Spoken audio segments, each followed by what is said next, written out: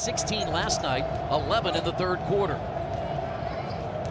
Williams down the lane, met there by. Oh my goodness! Way to get him, Miles!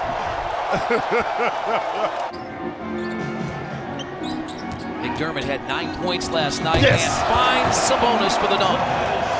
That's a pick and roll with some power there. Hey, we know we're getting into Oladipo. Now they've gotten stagnant here. And now Sabonis in the lane against Hernangomez with a left hand hook. Who's on the right side?